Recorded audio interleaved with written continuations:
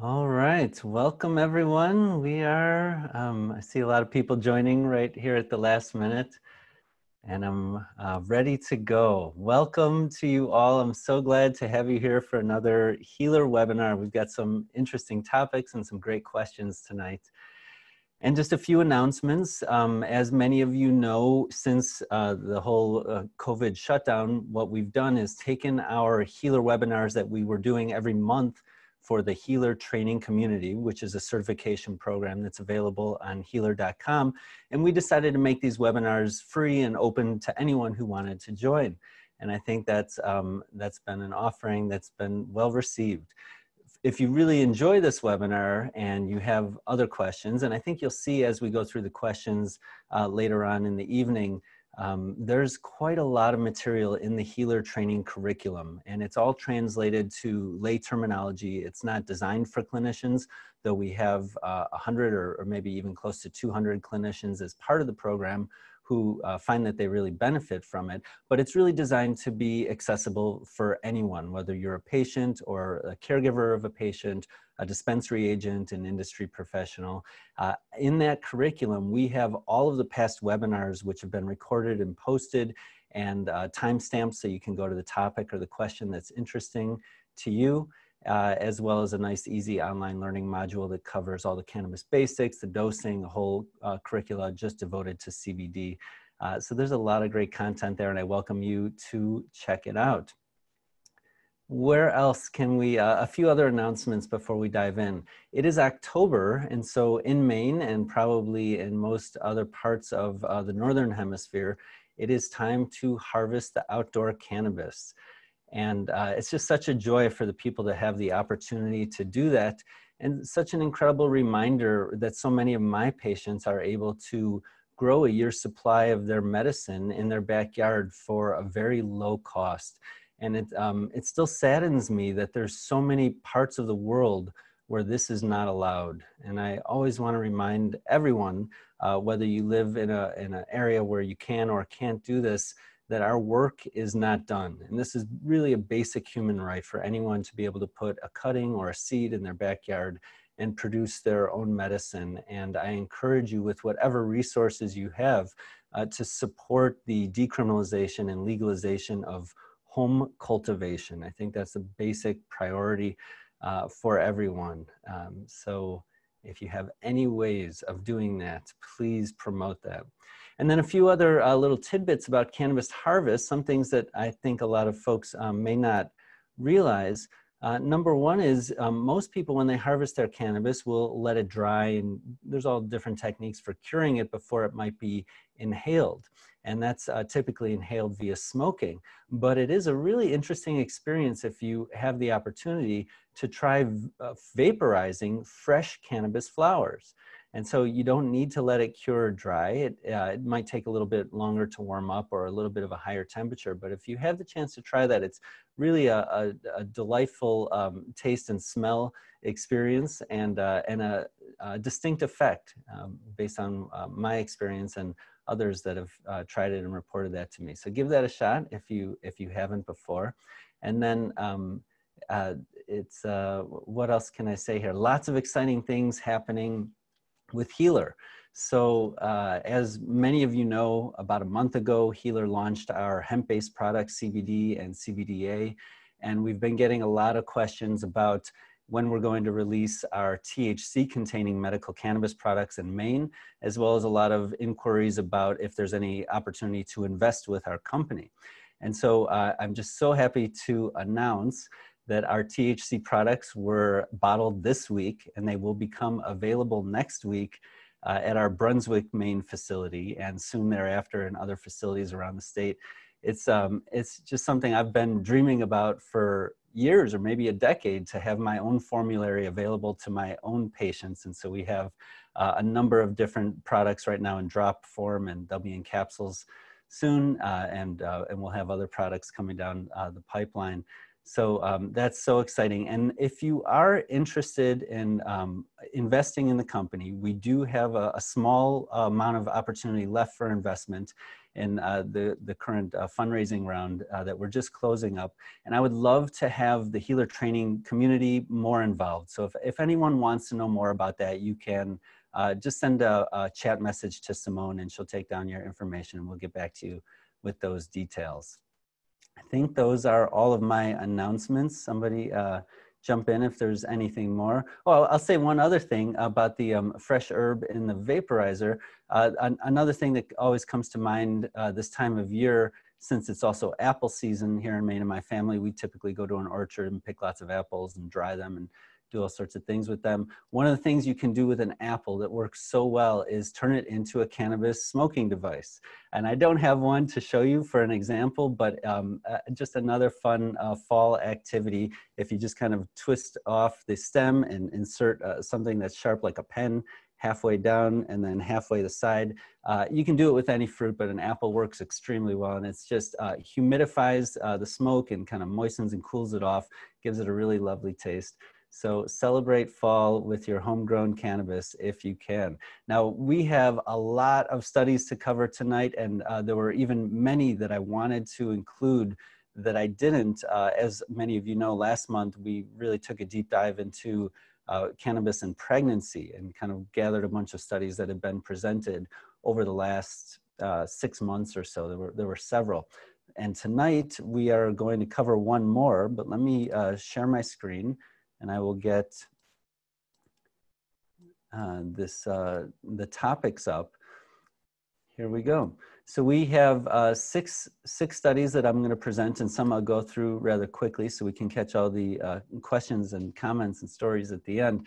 But uh, we're going to start with THCA in rodent seizure models, and then uh, move into a human study on the impact of cannabis and cancer immunotherapy very important one that impacts uh, clinical practice directly. We'll cover one more study that came out on prenatal cannabis, uh, cannabis exposure and childhood outcomes. Uh, and then back to the animal data for CBDA in a model of Rett syndrome, which is a rare neurologic condition. And then another animal model of combinations of CBD, CBG, and fish oil in bowel inflammation. And then finally, a, few uh, um, pearls from a report on the spiritual use of cannabis. Oops, here we go. Okay, now any of you that know my work know that I get very excited about the acidic cannabinoids. I'm always scouring uh, the literature for evidence about what's going on with THCA and CBD and the other acidics because I've observed in my clinical practice that this is a really uh, special and distinct aspect of the cannabis plant. And so um, it was about four years ago, I started communicating with Jonathan Arnold, a researcher out of Australia, and uh, telling him about what I was seeing in my clinic with THCA. Um, and we later published some of those cases in epilepsy and behavior. And he uh, has the opportunity to do animal research. So we had this very infrequent dialogue about THCA, can it even get into the brain, what's its anticonvulsant properties, uh, and uh, so forth. And uh, uh, so he just published, uh, him and his colleagues just published uh, this uh, really well done study. even though it doesn't give us a lot of answers, it gives us some, but it asks a lot more questions. So they looked at Delta 9 THCA in three different models of seizures, mice models of seizures. One is a model of Dravet syndrome, which is a sodium channel um, genetic defect that causes seizures. And um, the next is a, a, more classic seizure model called the six hertz threshold model. And then finally, the mouse maximal electroshock threshold model, which is a model of generalized tonic clonic seizures.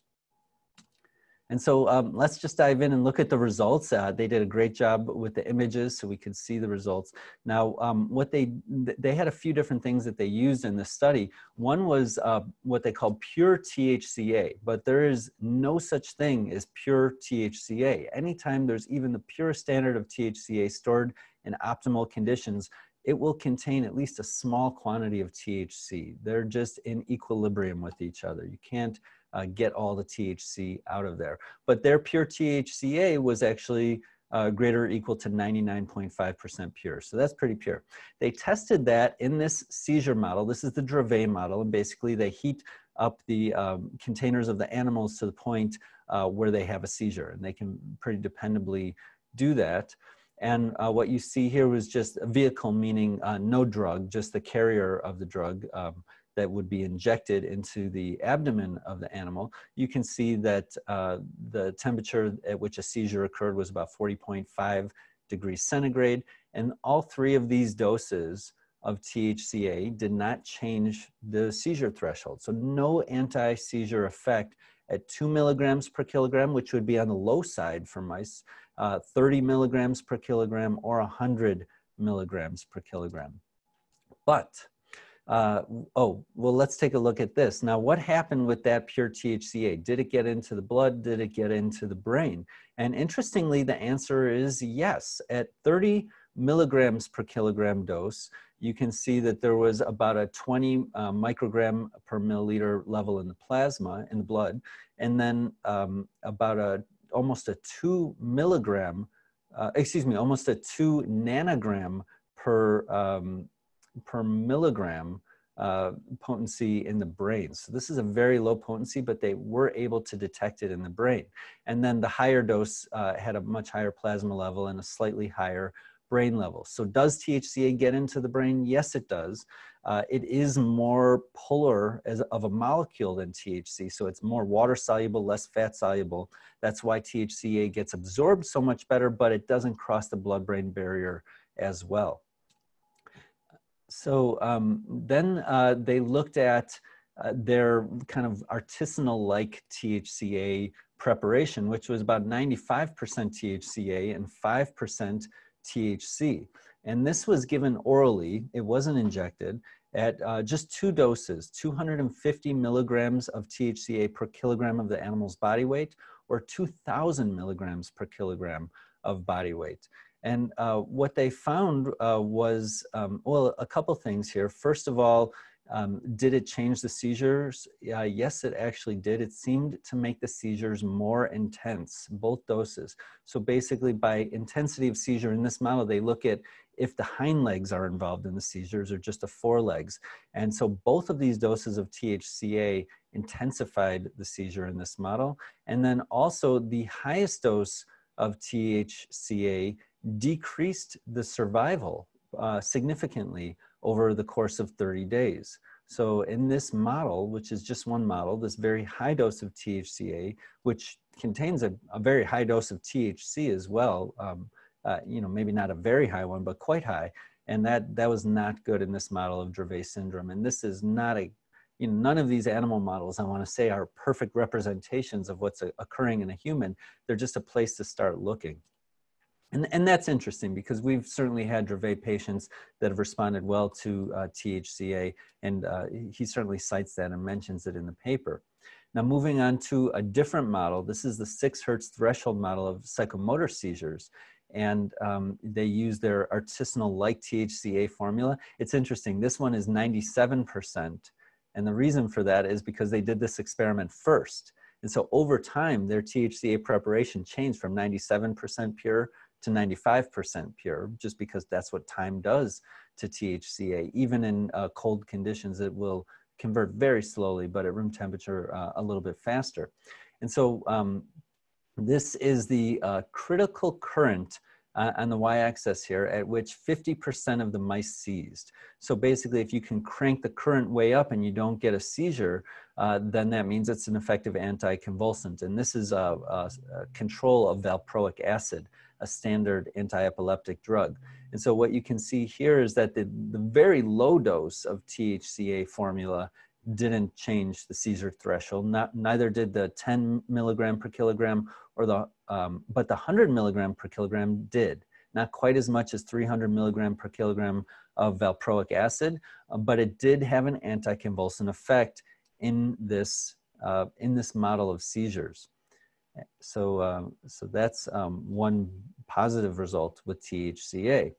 So then the question was, okay, well, this formula that contains THCA and THC worked in the seizure model. Which one was it, the THCA or the THC? That happens to be a question I keep asking myself again and again because anytime that I give a low dose of THCA to someone and it helps with their seizures, I know that that person is getting a tiny dose of THC, but tiny doses of THC are active in the brain. And there's been rodent studies that have shown uh, doses so low you wouldn't believe it 0.002 milligrams per kilogram of THC can change all sorts of signaling events in the brain and, and, turn on protective mechanisms. So it's a great question to ask. Is it the THCA? Is it the THC? Is it the combination? And they compare that against 100% pure THC. And so what you can see here are the combinations of THCA and THC. And basically, where there's a little star, that means that it was a statistically significant change from baseline. And so basically this THCA artisanal formula where THCA and THC were combined, uh, that had an anticonvulsant effect. And then double the dose of that had an anticonvulsant effect, a stronger one. But the same dose of THC without the THCA did not have an anticonvulsant effect. So this chart here shows you that it was the combination that worked, not the pure THC. Then if we uh, look over here uh, just to see what how much THC was getting into the plasma, into the blood, and you can see basically that uh, when given alone, we had this much THCA getting into the blood, but when given in combination with THCA, the blood levels of THC went up. I think that's an important point because a lot of people are taking THCA and THC together. And uh, essentially, what we uh, think is going on there is that the THCA is competing for the breakdown uh, of THC, and it's allowing more THC to stay in the blood at higher levels for longer. And then, of course, you can see here that the THCA was also, also measurable in the blood nothing too interesting there. But what is uh, interesting is uh, the levels of THC and THCA in the brain. And I think this is very important. Um, so THC was not detected in the brain at any level, not when it was given by itself at six milligrams per kilogram, not when it was given uh, at um, with THCA, 194 milligrams per kilogram plus six. And, and I misspoke a little bit. They could they could detect a tiny signal of THC in the brain, but below the limit of quantification. So they weren't able to even use their equipment to figure out how much was in there. So um, not a lot going on with THC in the brain there. And certainly in this model, again, even though at low levels, the THCA did make it into the brain like it did on the previous slide. Um, then they tested their so-called 100% pure THCA formula and uh, that's at 200 milligrams per kilogram, so approximately the same dose as this positive result, and you can see it did nothing. So what they showed here was that pure THC didn't change the seizure threshold, pure THCA didn't change the seizure threshold, but the combination of the two of them did. And, uh, and, and it, that combination is required even though barely any THC is getting into the brain, really no, none detectable. So, you know, this just opens the mystery. What's happening here? Is everything that occurs in response to cannabis dosing a chemical event? Are there other mechanisms, uh, electromagnetic or energetic, uh, that might be at play here? Or are some of these ultra low doses uh, just uh, physiologically active, way below what we can measure? Let's take a look at the next model. So this is the mouse maximal electroshock threshold model of generalized tonic-clonic seizures. This is the model that was studied uh, back in 1979 uh, by Karler and uh, Turkanis, uh, which was uh, the first report of the anticonvulsant effects of THCA. And, um, and in that model, THCA was effective at 200 milligrams per kilogram, but uh, they did not test for the, the amount of THC that was present in their formula back then. So, uh, so let's see what happened in this uh, kind of somewhat of a repeat of that old study. Well, you can see a variety of combinations of THCA and THC tested out here. The gray bar is the control, just half a milligram per kilogram of uh, THC reduced the seizure threshold. Oh, excuse me, increased the seizure threshold. So when the bar is shorter, it means the animal is seizing with less electrical activity. So THCA had a pro-seizure, pro-convulsant effect. Now that same dose of THC that had a pro-convulsant effect, when combined with THCA at about, uh, you, you know, at, at um, so that would be like a 20 to 1 ratio, it did not have a proconvulsant effect. So in this case, it seems like THCA mitigated the proconvulsant effect of THC. I know it's getting stranger and stranger. Uh, a, higher, a much higher dose of THC also had a proconvulsant effect. And again, the combination with THCA mitigated that proconvulsant effect. So strange. None of them had an anticonvulsant effect at the doses tried, but it's very interesting that THCA mitigated that proconvulsant effect of THC. When they tried the pure THCA, they found a slight potentiation of seizure, meaning, meaning a slight proconvulsant effect that was statistically significant. So now we've got pure THC making things worse in the seizure model, pure THCA making things worse in the seizure model, but put them together and they don't make things worse. Wow. So let, let's see what else is happening here. So um, this proconvulsant effect of THC was consistent with another study that reported there were these biphasic effects of THC on the severity of seizures in this model, where low doses were proconvulsant, but higher doses were anticonvulsant. So it was already known that THC could be proconvulsant in this model, but it wasn't known that THCA could mitigate that. Wow. So what's the summary here? You know, just to review, purified THCA did not change that Dravet model the highest dose of oral THCA with that little bit of THC in there actually worsened the intensity of seizures in the Dravet model.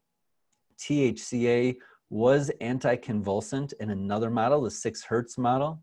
Neither dose of THCA THC mixture affected uh, that last model we showed, the maximal electroshock, but when you separated them out individually, they did have a proconvulsant effect and then uh, 30 milligrams per kilogram and 200 milligrams per kilogram of THCA injected into the abdomen of rodents uh, did produce levels that were detected in the brain. So this does cross the blood-brain blood-brain barrier. And, and I think another point that's important there is it crossed the blood-brain barrier um, in a model of seizures. And so seizures can change the function of the blood-brain barrier. And that's one of the things that we've been suspecting in our human patients. Well, well, uh, you know, while, while researchers like these were kind of telling us on the sidelines, hey, we don't think this stuff gets into the brain, uh, we, we were responding that, well, it might not normally get into the brain and maybe not in your control rodents, uh, but our seizure patients have uh, a lot of inflammation in their brain and their blood-brain barrier is probably acting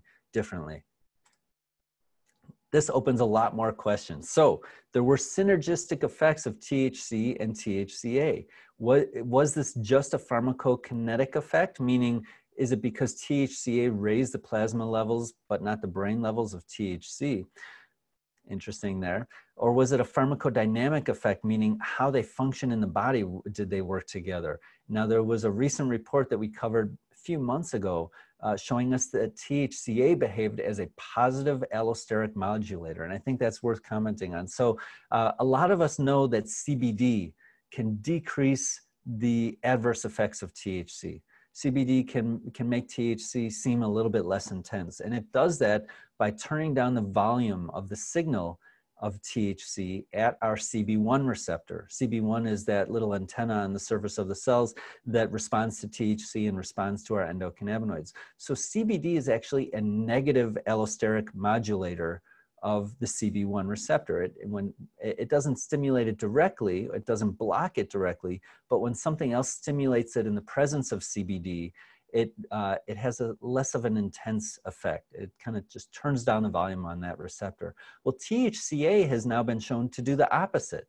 THCA is a positive allosteric modulator, which means it's likely that even in the absence of THC, which is impossible, but, but even when acting just uh, in uh, relation to our own endocannabinoid production, the presence of THCA would turn on the signal of that CB1 receptor even stronger. And that's something that's been searched for in the synthetic cannabinoid uh, world for a while because it's thought that if you were able to selectively augment the endocannabinoid system, only in the areas where it's currently active, that would have a therapeutic effect that would be more tolerable and maybe more uh, specific than just globally turning them all on with something like THC. So THCA might uh, interact with the endocannabinoid system in this really elegant way as a positive allosteric modulator. And I think that's significant when it comes to seizures. Other questions Is THCA even stable enough for us to use in our patients? I find it to be extremely finicky. It works. Uh, sometimes too much doesn't work. Sometimes too little doesn't work. Sometimes it works for a while and then it changes. And we wonder is it the patient that's changing or is it just that the formula has changed? And it's probably the latter. So there's a lot of challenges with THCA. Uh, anyone that's using it for seizures should definitely keep it in the fridge, if not the freezer. Uh, and um, what about these biphasic effects of THC that were reported in this study?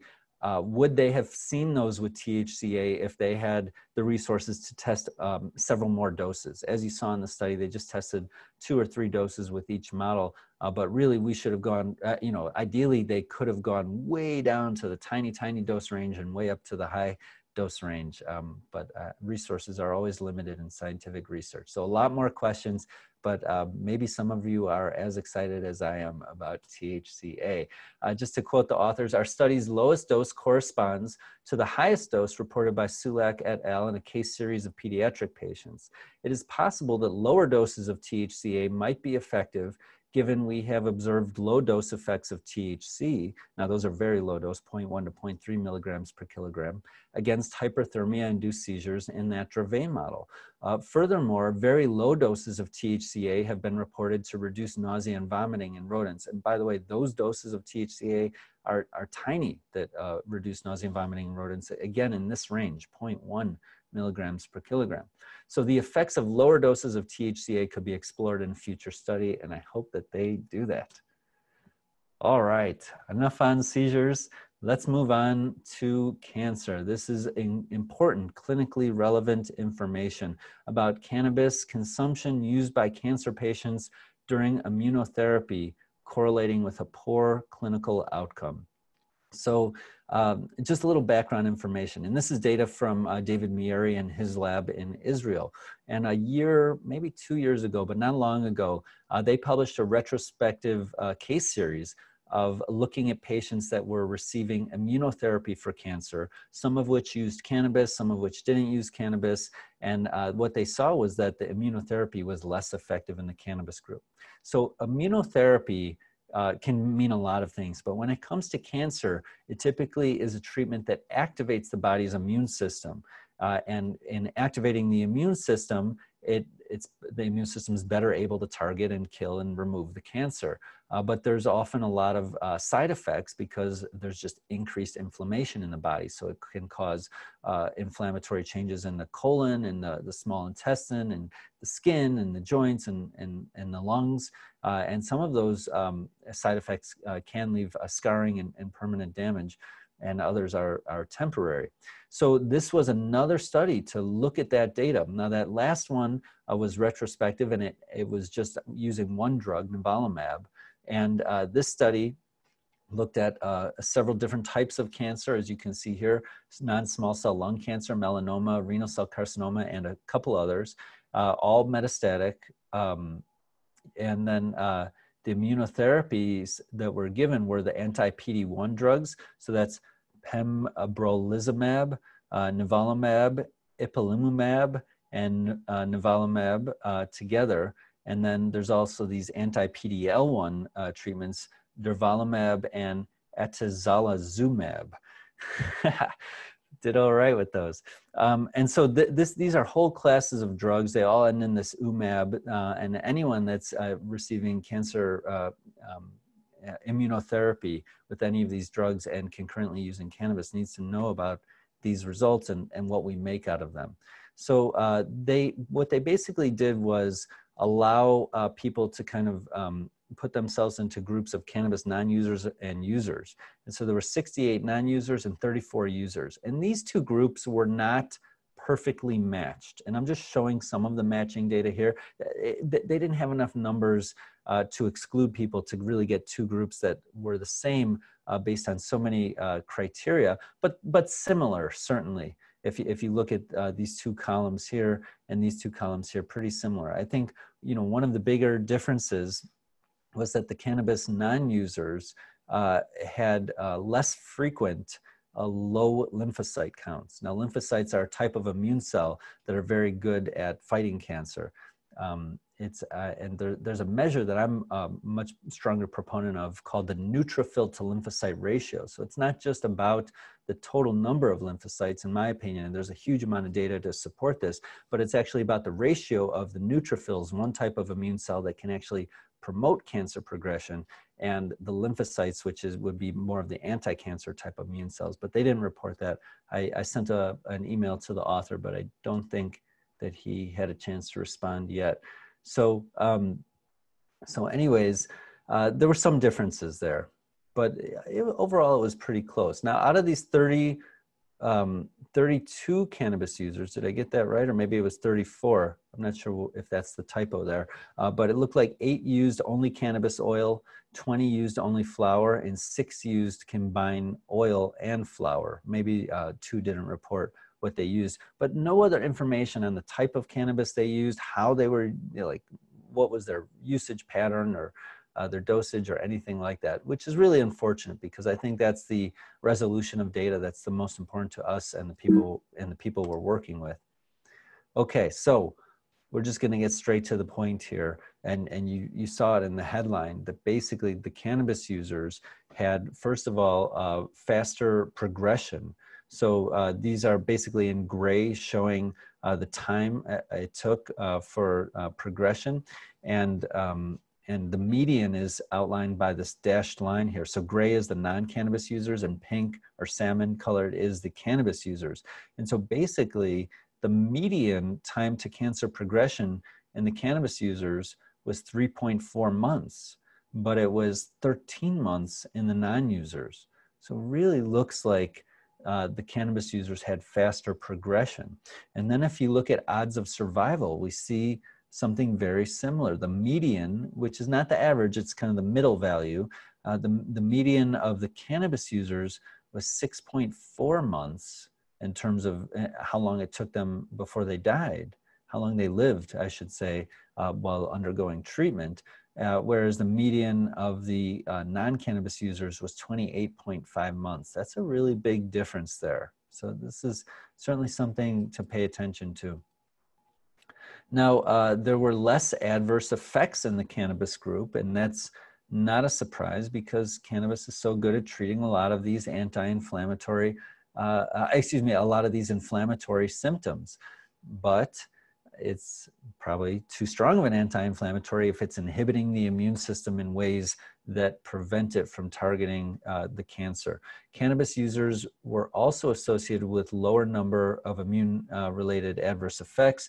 And then the authors commented of note, it has been shown that patients with advanced melanoma, renal cell carcinoma, or non-small cell lung cancer treated with nivolumab who developed treatment related inflammatory adverse effects were likely to result in significantly prolonged five years survival odds.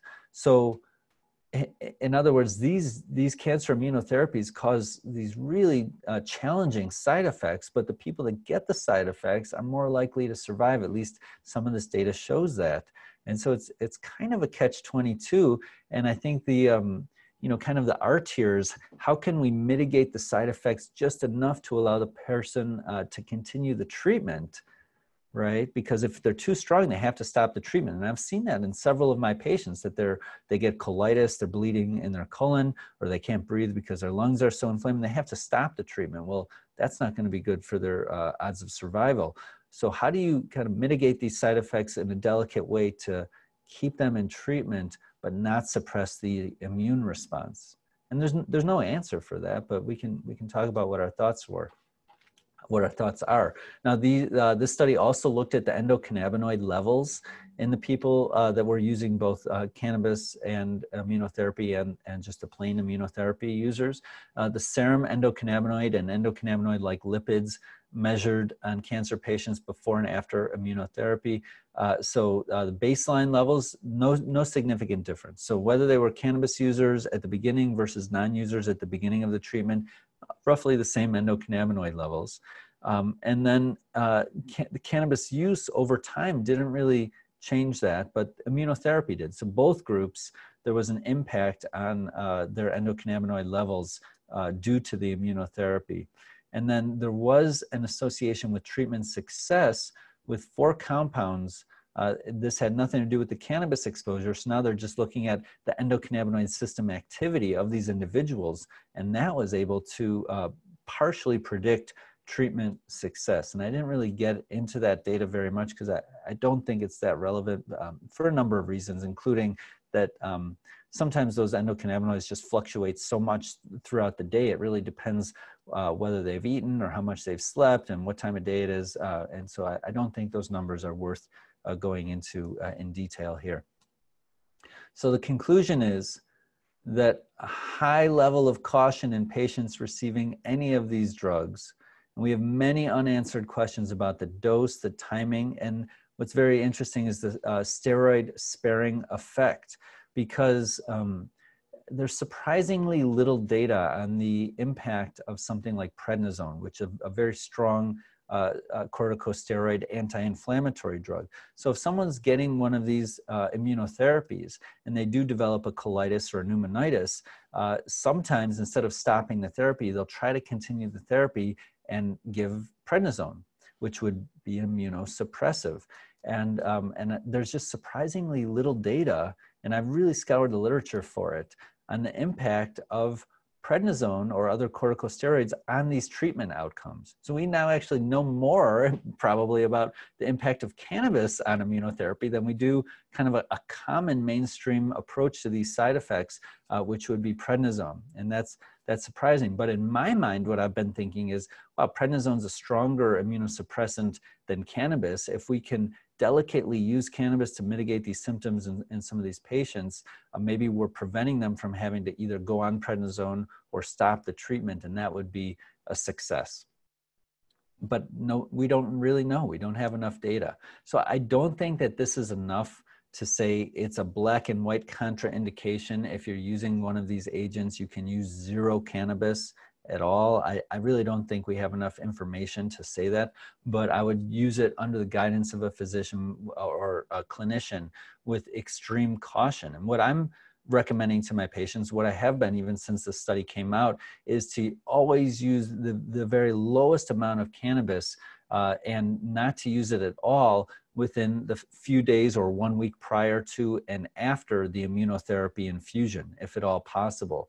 And then, uh, so just to really hold back on the cannabis, use it as minimally as possible. And then, if these really severe inflammatory symptoms do occur, we can we can use just a little bit more cannabis. Uh, and um, and if that's not effective, then of course they either go on steroids or stop the treatment. So, uh, but, but it's it's really touchy, and um, it's just there's there's a human side of this as well because you have people that are not sleeping, they're in pain, uh, they're dealing with a terminal diagnosis, they're uh, doing their best to uh, kind of connect with and recapitulate with their family and also to connect with themselves and to connect spiritually. There's just so many dimensions to helping someone with one of these uh, advanced malignancies and uh, each of them has different goals. Some of them really want to live and some of them just want to have better quality of life until the time they die. And and sometimes it's mixed and some people are, are scared and they don't know it and cannabis can help them overcome their fear and then and then figure out what their real goals are. So it's it's very involved but i, I you know i think the take home message here is a lot of caution uh, using cannabis with any cancer immunotherapy. All right moving on. And I'm not going to spend too long on this one. And uh, thank you, Michael Stewart. I got your, uh, your write-up of this, and so I'm going to make some comments about that as well. But here's another study that um, looked at basically moms that had been ex uh, exposing their uh, fetuses, uh, pregnant moms exposing the fetus to cannabis versus moms who did not do that. And then they also divided it into um, those who knew about their pregnancy while using cannabis, or and then those who stopped uh, once they found out they were pregnant, they stopped using cannabis. And so uh, basically 11,000, almost 12,000 children aged 9 to 11, as well as their parent or caregiver, uh, were um, surveyed or interviewed. And um, what they were looking for were a specific set of outcomes uh, related to psychopathology. So they were um, they were exploring whether cannabis use, cannabis exposure prenatally was associated with psychotic-like experiences, internalizing uh, behaviors, externalizing behaviors, uh, changes in their attention, their thinking, and their social problems, as well as the impact on their cognition, their sleep, their birth weight, gestational age, body mass index, and brain structure. So a lot of data in here. It sounds like it could be really useful, but unfortunately it's not really useful. So first of all, um, about 5.7% of this cohort were exposed to cannabis prenatally. Uh, after controlling for uh, many factors, um, including income, psychopathology of, of the parents, prenatal exposure to other substances, uh, the substance use by the child, birth weight, after controlling for a lot of things, uh, what they found was that cannabis exposure after the mom knew that she was pregnant was still statistically significant in its association with psychotic like events, externalizing behavior, uh, changes in intention, thought, and social problems. But exposure only prior to maternal knowledge of pregnancy, uh, exposure to cannabis prior to mom knowing about the pregnancy, did not impact anything uh, related to the outcomes. Now, there's many problems with this data, um, but let's, uh, let's go to the conclusion. So this study suggests that prenatal cannabis exposure after maternal knowledge of pregnancy is associated with a small elevation in risk for psychopathology during childhood um, what were some of the limitations? Well, one, uh, and, and I just complained about this a lot last month. I promise I'll keep it brief. Uh, but this is even worse than the studies last month because parents and caregivers, uh, well, maybe it's not worse. We'll, we'll see. They retrospectively reported uh, on cannabis use during pregnancy that occurred on average 10 years prior to the interview. Um, and so that could certainly result in biased reporting. Now, maybe they would be more likely to endorse that they were cannabis users because they weren't like at the hospital about to, uh, you know, have a baby and be threatened with uh, child protective services and, and uh, uh neonatal intensive care, intensive care unit admission and other uh, problems like that. But um, another another limitation is that there was uh, limited or no data on the potency, frequency, timing, or quantity of cannabis exposure. So um, we really just don't know. I mean, again, with all these studies, it would be so great if we knew how and how much and why people were using cannabis uh, to stratify these outcomes, and that would inform our patients. But what I found really interesting is that there's a very similar study that came out last year, or uh, two years ago, I guess. And um, and these authors did not even refer to this study at all, and I, I think I know why. Uh, so this was a similar large cohort, not quite as big, of almost 6,000 children in the Netherlands. And uh, they were uh, um, examined for similar problems like externalizing uh, uh, symptoms. These are aggression and rule breaking, internalizing problems, anxiety and depression, withdrawal, somatic complaints. So all of these things in this study were also associated with maternal cannabis use during pregnancy. But what's so interesting is that they were similarly and independently associated with paternal cannabis use, meaning if dad was using cannabis, even if mom wasn't, then the offspring were more likely to have these problems. And so, what this study suggests is that there's an effect due to the shared familial or genetic factors, but not to the in utero exposure. So why this paper that was uh, really the only other one that one of the only other ones looking at the same exact outcomes, why that was completely omitted from the recent paper is because it, it really just demonstrates uh, what that recent paper was missing, which is data on father's use of cannabis uh, to confirm or disconfirm these findings. And I, I, think that that really makes that whole paper uh, a lot less credible that they left this out. Um, furthermore, uh, the statistical manipulation in there was just way beyond me. They use so many statistical techniques to massage the data. I really just don't understand uh, it. I'm not a statistician, uh, but it looked like a lot was done. And then, um, as uh, uh, Michael Stewart pointed out in his email earlier, uh, it's there's just so many factors with cannabis. I, I, mean, we're kind of used to it and numb to it, but it really makes no sense to draw any conclusions from something that just lumps cannabis into one thing: cannabis use. uh, because we just know that there's so many ways of using cannabis and types of cannabis and constituents in cannabis and it's um it's it just really doesn't um, translate to clinically relevant data but i thought i would cover it tonight let's move on we're going back to animal data this is cbda and this is just really brief. Rett, rett syndrome is a rare neurologic disorder that affects mostly females and it's uh, it's really devastating. I have had a rett syndrome patient. Oh i still do have one. And um, maybe even two. And it, there's this um, like uh, there's kind of a normal development that happens and then development stops and then there's regression and then there's the onset of these other symptoms. So it's really a devastating disorder and no good treatments for it. And we've been somewhat successful using cannabis uh, to help this uh, young girl.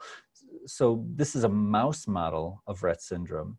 And there were two studies previously that looked at CBDV, the cannabinoid CBDV, in these mouse models and showed that it improved behavior and brain changes in these models. So this study said, well, CBDV worked. Let's try CBDA and see if that works. And I'm just going to really um, get to the point here. A 14-day treatment with CBDA, first of all, reduced pain sensitivity in the wild type mice. So not that, so the normal mice just treating them with CBDA reduces their sensitivity to pain. And this was um, heat induced pain. They also found that low doses of CBDA decreased pain in the mice with the Rett syndrome. Uh, and I'll show you the, uh, the bar graph of that. And then uh, CBDA did not improve some of the other symptoms associated like, uh, like CBDV did. And it had no effect on the neurobiologic model. So based on this animal model, it looks like CBDV is a lot more effective. But I, I'm showing this tonight, not just to talk about Rett syndrome, I'm, I want to talk about CBDA because I'm so interested in the acidic cannabinoids and we have another biphasic effect, which I think a lot of you know I also get excited about. So um, this is the heat model and basically if it takes them longer to lick their paw when they're standing on something that's hot, then it means that they have a less pain intensity. And this is, so, so these are, um, um, I believe this is the chart of normal mice. And you can see here that uh, this is the control. So a very low dose of CBDA, 0.2 milligrams per kilogram, uh, significantly increased the pain threshold in these normal mice. But the higher dose, two milligrams per kilogram, and the even higher, 20 milligrams per, per kilogram, did not statistically significant change the amount of pain they felt when exposed to heat. So the point here is that yes, CBDA can help with pain, uh, thermal pain certainly, other types of pain in other studies, but more is not always better. And CBDA can be extremely potent. So tiny doses work. And, uh, it, you know, I think a lot of you um, know that in uh, the material that we've uh, kind of included in our hemp products, one of which is a CBDA dominant formula, uh, we are recommending that people start at just five milligrams and, and, see what that does for them. And I, you know, I, I'm wondering sometimes if just starting at one milligram uh, would be a better idea because there's something magic that happens in this ultra low dose range. And if we want to uh, take the time to thoroughly explore it. You know, I, th- I, think that's one of the problems with these super broad dosing ranges is you can tell someone, well, I'm not sure if you're going to respond at one milligram or 100 milligrams, and both are perfectly safe, but it's going to take you two years to really carefully explore all the doses in between. That just doesn't work uh, practically. So we have to pick uh, a starting dose and then a titration frequency and amount that'll kind of be compatible uh, with the person's timeline and the urgency of their goals. Uh, but the real point here is that CBDA can help with pain, uh, at least in animal models, and I've seen it in humans as well, but more is not always better. More might be less. Same exact thing could be said about THC.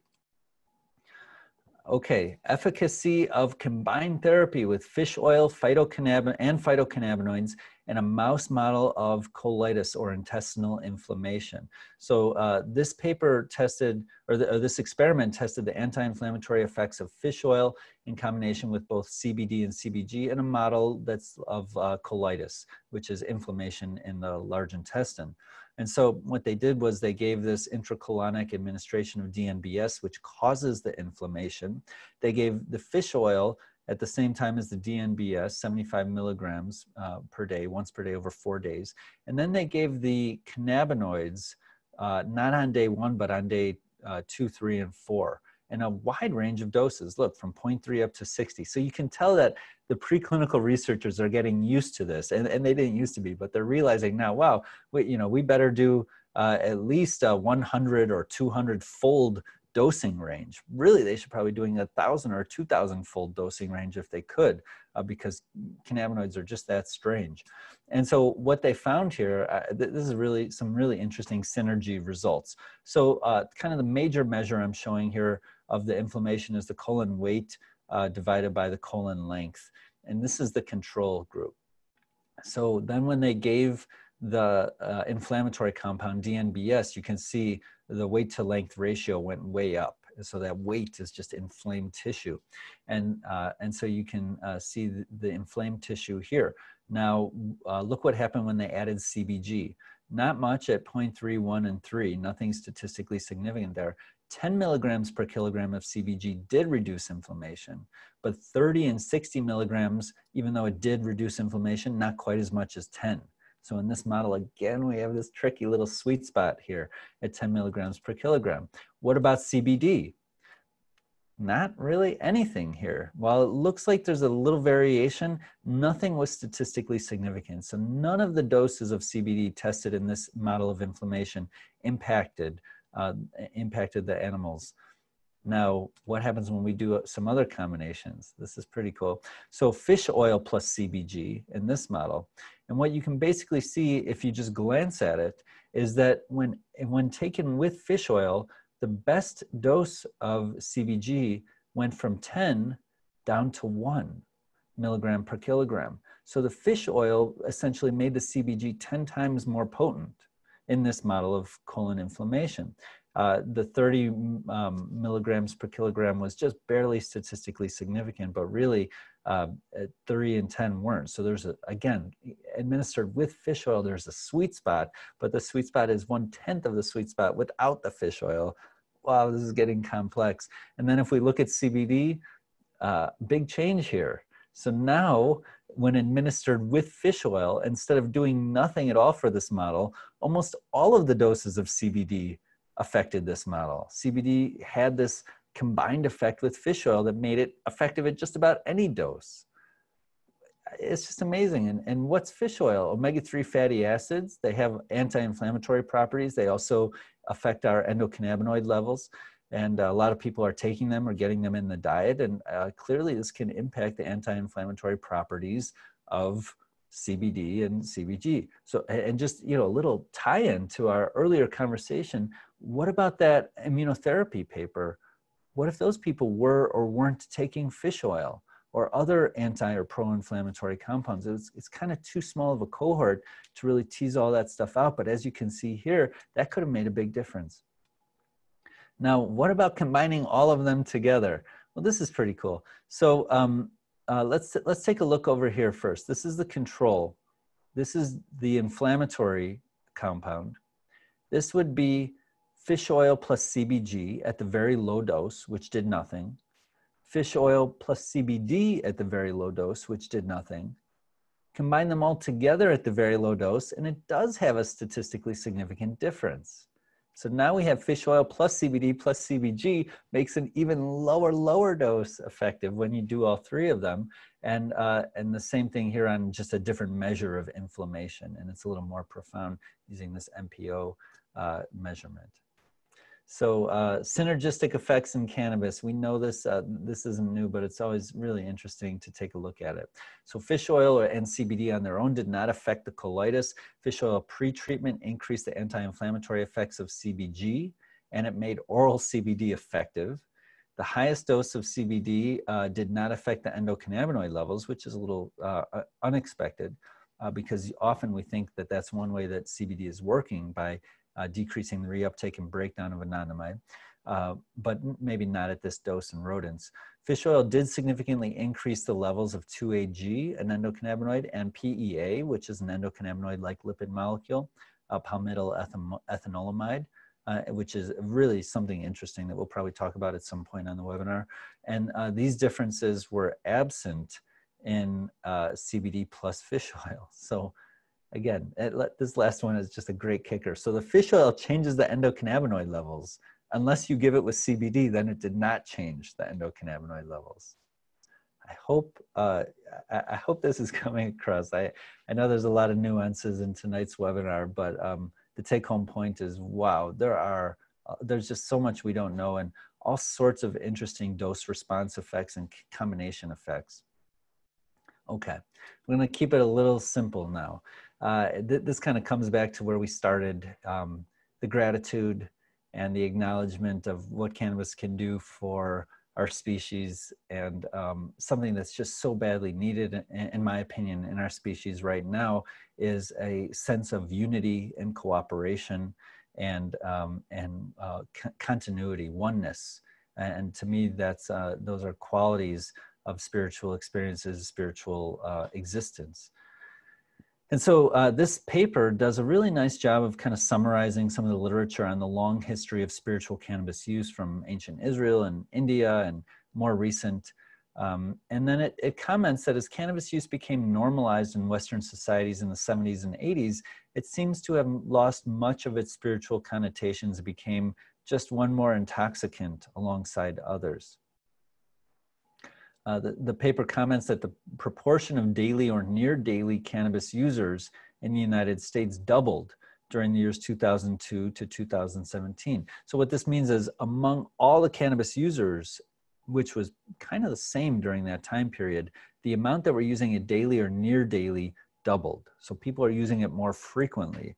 And the writers emphasize that the spiritual potential of cannabis uh, uh, not not just the author of this article, but he cites many other authors who emphasize that the spiritual potential of cannabis uh, that they often warn against overuse. Um, and that sentence did not come out right, but basically, overuse can diminish the spiritual potential. So uh, this was a, first an interview study, which was qualitative, meaning getting like what are what are people saying, uh, with 29 current or past users of entheogenic drugs. And they used that data to build a survey that they then administered to 265 people.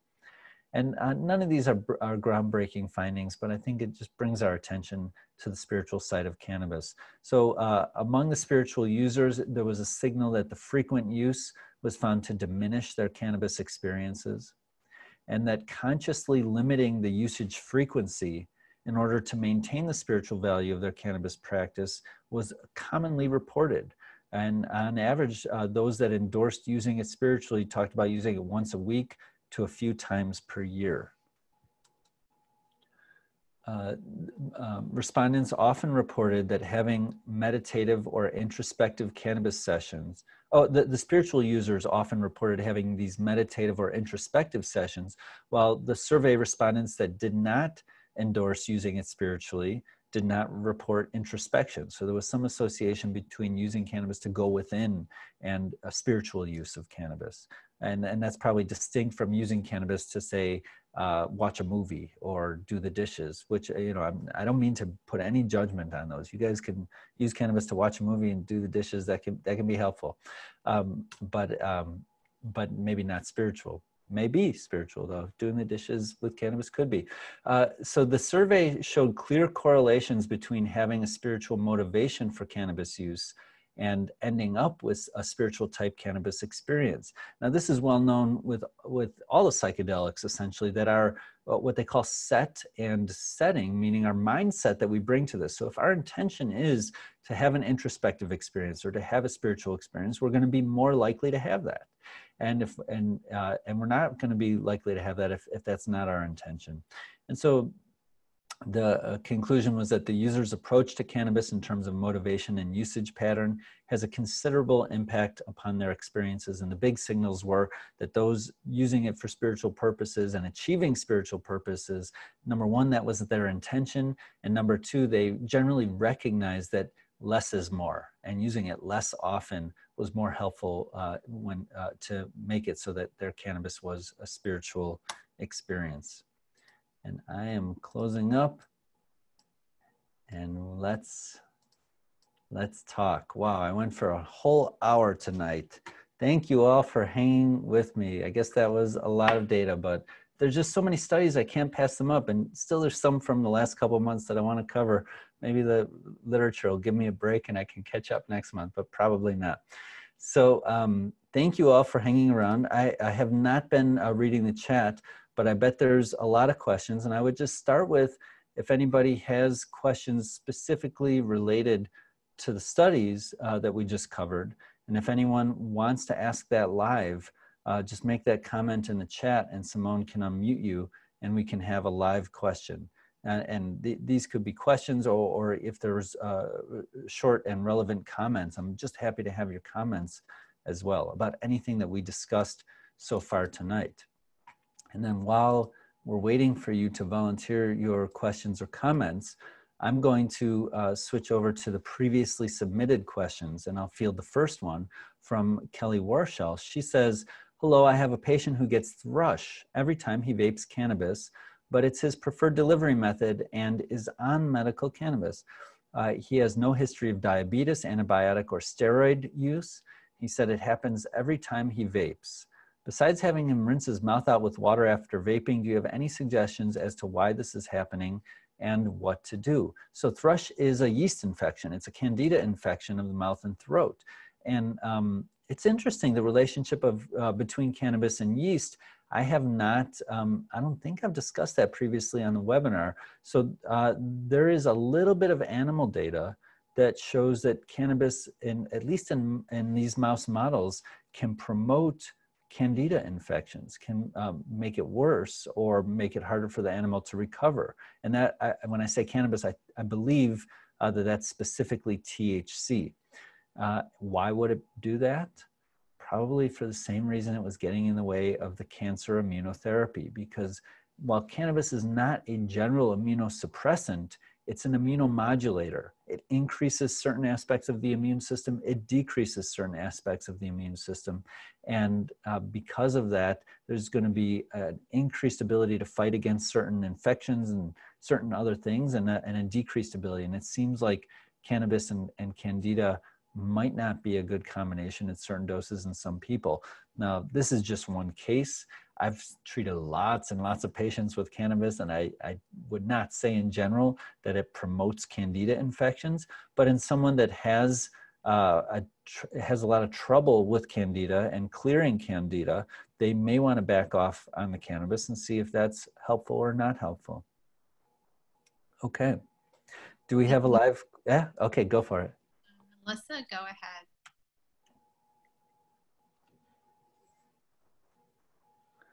Melissa, are you there? Yeah, I'm here. Hi. Great. Hi. How are you? Oh, you know I love this. I'm doing great. it's been such a long day, um, and um, and it, this just gets me going. When you know when we're inspired, we feel differently, right? And, and we think yeah. more clearly, and and uh, and we can perform even on low sleep and after a long day in the clinic. How are you doing tonight? I'm doing great. I'm doing really good. So my my question is. Um, I'm still taking Herceptin Perjeta. So for those of you on here, I had stage four breast cancer, and I did I did um, um, chemo. I did chemotherapy for 12 weeks, and Herceptin Perjeta, and a host of other all, of things, therapy, you know, alternative treatments, that sort of thing. Um, and so I'm off now, and I haven't I haven't had no sign of cancer since then, with testing and all that. So, but tonight, this really kind of hit me because I think the Herceptin Perjeta is a um, is immunotherapy. I'm pretty sure. So uh, not not like this. No, the Herceptin Perjeta is um, based on my understanding. It's more acting on the uh, the HER2 receptors and, right. and, and blocking this mechanism of um, a kind of pro-malignant changes in the cell. So, okay. so more working directly on the cancer cell, not indirectly via the immune system. But, um, but probably your question is still very relevant. So I, those aren't the same class of drugs, but please continue your question. So I think that was it. I wasn't quite sure. In my head, I, I, I, it's been called immunotherapy, but it, I know it doesn't act on the immune system. So I just needed that clarification. So thank you for that. Um, and I have, I have one other question that well let's let me um let me finish what i thought might have been your first question sure. and, and maybe it was so uh, and this this is just a really common question um if cannabis can have effects on the immune system that can in some cases block the immune system's ability to fight cancer, what might cannabis be doing in your situation for what we call secondary prevention, right? We want we want to prevent the recurrence of cancer. Might cannabis be limiting your immune system's ability to prevent cancer recurrence? And and so that that yes. you know, I think that that's a very important question that I get asked all the time. Uh, and we still don't know the answer for that, but I think the thing that would make it much easier for us to answer that is an understanding of whether or not your specific tumor cells uh, had cannabinoid receptors on them or associated receptors in the cannabinoid world and the cannabinoid system. So basically, your uh, pathologist was able to tell you, oh, look, your your cancer was progesterone positive or negative, estrogen positive yeah. or negative, HER2 positive or negative. We need them to say CB1 positive or negative, maybe TRPV1 positive or negative. And, and we covered this all um, in another study from Dedi Meiri uh, last year uh, because it, it looks like, from a little bit of animal data, that in cancers that lack any target for the cannabinoids, basically, if they don't have the CB1 receptor on the cancer cells, that the effect of cannabis might be pro-neoplastic. It might, it might work against the immune system, but fail to work against the cancer and throw off that balance it's theoretical. We don't know which cancers have CB1 and, and, and so forth. I think most of them do. Uh, it's something that I, I would really love uh, to figure out. We, we actually had a project here in Maine uh, with a pathologist where we were developing antibody tests uh, to look at these receptors on cancers and, and we were trying to make a commercial test. And what we found out was uh, that the tools available in research science for determining whether a specific tumor has or does not have CB1 and CB, especially CB2 receptors, it's a terrible tool. We couldn't get a clear answer. Maybe we should have just ran with CB1 uh, because that would have been more important anyways. Uh, but go ahead, Melissa. What's your second question? Um, I don't know. Sorry. I'm still you. I, my, my my head is still in in your answer to the first question.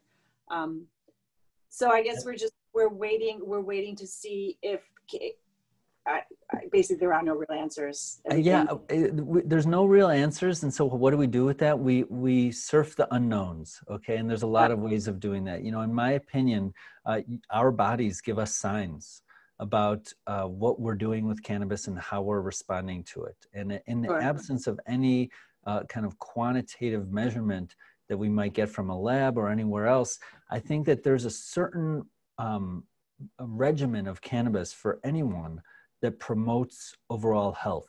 And when a person is engaging in that, they're going to be sleeping, they're going to be balanced, they're going to have uh, an autonomic uh, nervous system that's uh, in balance and, and fully functional.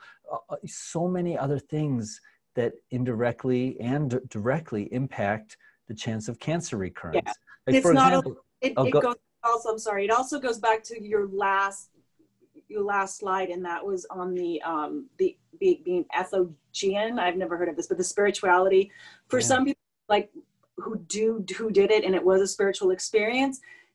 It, cleared a lot of blockages, and it helped in the healing on that level. And that's something that can't be measured in a lab you know? It and can't I, be but is it can be measured in people. So if you look at people that have had spontaneous remissions of cancer there's a mm-hmm. high percentage of them that have had some kind of a spiritual awakening right? We we know there's an association there and uh, and same with all these other factors. So yeah i mean thank you for saying that uh, people are holistic. We're not these discrete cause and effect models. And the, the big problem in medicine right now is that we've over relied on cause and effect and these these little narrow-minded perspectives of something that's an incredibly beautiful huge system that that we need to zoom out and, and get the big picture of.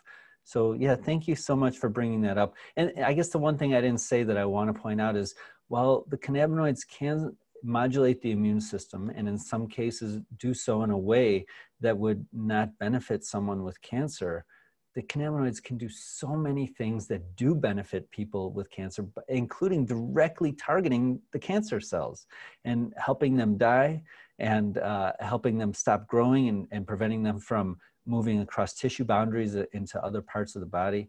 So, um, and I and the other thing that I wanted to point out is if you look at the literature, what are the factors uh, specifically for breast cancer that are related to preventing recurrence?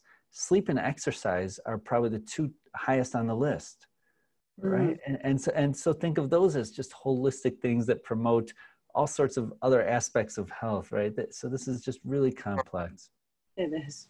thank you melissa for bringing that up. That was great okay i'm going to go back to the spreadsheet and um, do one more previously submitted and then we'll take a live so this next one is from bill holt um, can you elaborate on how and why utilizing healer drops, especially CBDA, is good both sublingually and topically in general? But in my case, it is great in both instances for my own rheumatoid arthritis and psoriatic arthritis. So, why is CBDA good for rheumatoid and psoriatic, and why, why is it good topically, and why is it good internally? And I think we covered some of that. Um, CBDA is an anti-inflammatory and it works a lot like CBD, but it seems to be quite potent. And then CBDA is also a little different in terms of its ability to dissolve in water versus oil. Uh, and so um, probably gets distributed in the tissues in a way that was uh, different than CBD. If you, I, I, think he was comparing that to CBD. So uh, thank you for that question. Do we have a live one? Uh, yes, Stanley has a question.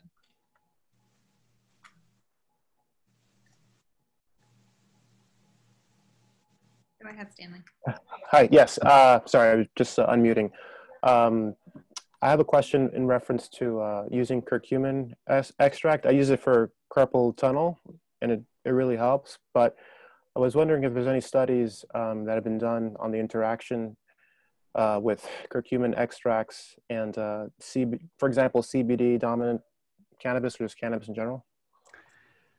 Ah, racking my brain now. I have a memory of something, but I, I think what I'm remembering is that in two different studies, curcumin has been shown to alter the endocannabinoid system.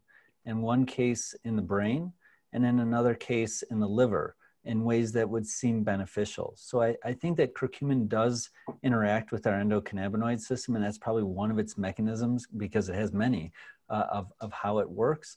Um, but I don't know if there's any data on using it, like the study tonight with the fish oil and the CB. You know, that would be a perfect uh, thing to try with curcumin. You know, that same that same model would be interesting. But and um, fill in the blank because there's just so many great herbs that bring us these safe anti-inflammatory effects. But uh, yeah, thank you for the question. Okay, thank you. And uh, congrats on success with your carpal tunnel. Has cannabis done anything for carpal tunnel? Um, to be honest, I've been having difficulties with it. I took a RSO extract uh, like several months ago, and I got super sick from it. I don't. I I thought it was a reputable site. They had a certificate of analysis, but I don't know if they had the full lab test. And so ever since then, I've been getting kind of headaches, even taking like drops. So I was wondering, I don't know if I can maybe talk to you uh, later through a consultation about that, but it's just the that's, most bizarre thing. Yeah, that's yeah. very interesting. And and you broke up a little bit there, but I I didn't get the dosage. But my understanding is you did this uh, really high potency concentrate uh, of cannabis, and ever since that you had an adverse reaction to that, you've been sensitized in a way that makes it hard for you to tolerate even lower doses of. Is it THC? Um, well, I, initially I was using um, CBD dominant hemp flower. However, some of the strains did have one or two percent THC. I mean, that's low, but you know, it's, it's still there. Uh, I would, I noticed, I would notice kind of like a head, kind of headache almost. And then um, I moved on to, to CBD oil and uh, similar result with a very little amount. I haven't tried any in, in several weeks, but it's, it's bizarre for sure. It's not unheard of. Thank you for sharing that. So I have seen this in, in patients. I'm working with one right now who had a psychotic-like experience uh, when using high doses of RSO. He was using it for an inflammatory condition, and now he really has no ability to tolerate uh, THC. Um, and and so my uh, and, and I've had a few cases like this in the past. Maybe one that I've successfully treated with homeopathic cannabis and, and so that's that's a really interesting way of going about this homeopathic cannabis would be extraordinarily dilute uh, preparation of cannabis that really doesn't have any of the molecules of THC in it, but just the energetic frequency of it. And by exposing one to that frequency, it could correct that imbalance. I, you know, I would try it under the guidance of a, a homeopath. I see uh, Becca asked, where do you get it? I've ordered mine from a homeopathic company in Germany, but I do see, um, did I see, uh, well, some other people may be able to answer that in the chat.